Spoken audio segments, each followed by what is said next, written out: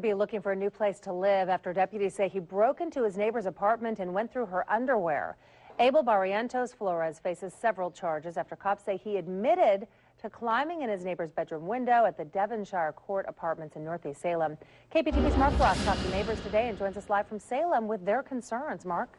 Well, deputies arrested the man yesterday here at Blex, where neighbors say